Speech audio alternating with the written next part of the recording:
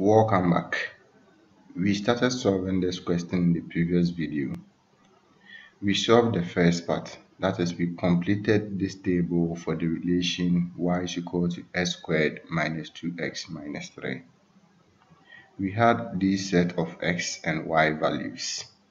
In this video, we are going to use the set of x and y values we have in this table to draw the graph of the relation y is equal to x squared minus 2x minus 3 on a graph sheet by using a scale of 2 centimeters to 1 unit on both axes.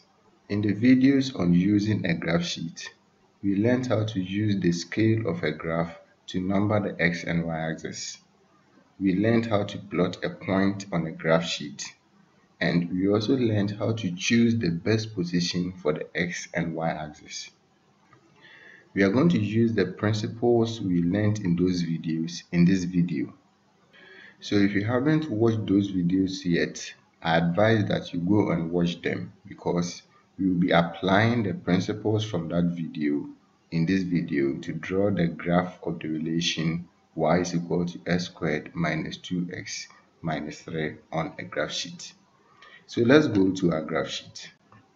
Here is our graph sheet and this is the set of x and y values we are going to plot. The scale we are using for this graph is 2 centimeters to 1 unit on both axes.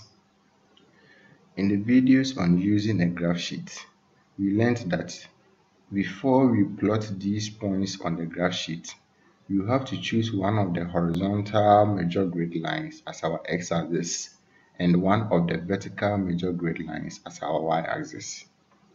So if we choose this horizontal major grid line as our x-axis and this vertical major grid line as our y-axis, we will see that they will intersect at this point. This point here becomes our origin and it is numbered 0.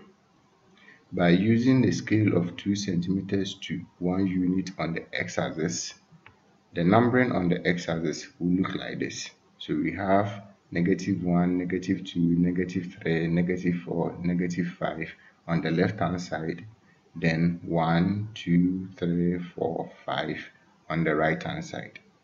Then on the y-axis, you have negative 1, negative 2, negative 3, negative 4, negative 5, and negative 6 on the downward part, and 1, 2, 3, 4, 5, 6 on the upward part.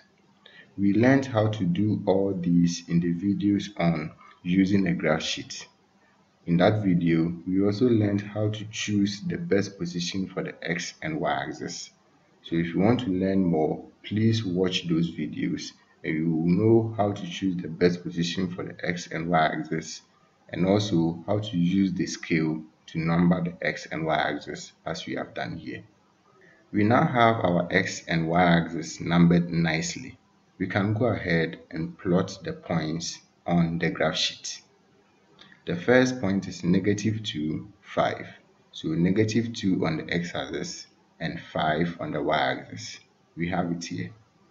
Negative 1, 0. Negative 1 on the x-axis and 0 on the y-axis. So the point will be here. Negative 1, 0. The next one is 0, negative 3. 0 on the x-axis negative 3 on the y-axis. So we have the point here. The next one is 1 minus 4. 1 on the x-axis minus 4 on the y-axis. So we have the point here. The next one is 2 minus 3. 2 on the x-axis minus 3 on the y-axis. So we have it here. Then the next one is 3, 0. So 3 on the x-axis, 0 on the y-axis. So we have the point here. Then 4, 5. 4 on the x-axis, 5 on the y-axis. So we have the point here.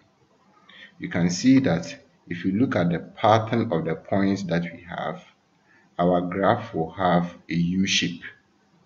So you join these points with your free hand. So you join these points with your free hand to get the graph of the relation y is equal to x squared minus 2x minus 3. In the video on drawing the graph of a quadratic function on a graph sheet, we learned that if the coefficient of the quadratic term or the square term is positive, the graph of the quadratic function will have a U-shape. Here we can see that the coefficient of the quadratic term is 1, which is positive. So the graph of the quadratic function is having a U-shape. So this is the graph of the quadratic function y is equal to x squared minus 2x minus 3. Thank you for watching this video. Subscribe to this channel for more videos. In the next video, we are going to solve another question on drawing the graph of a quadratic function on a graph sheet. Bye bye.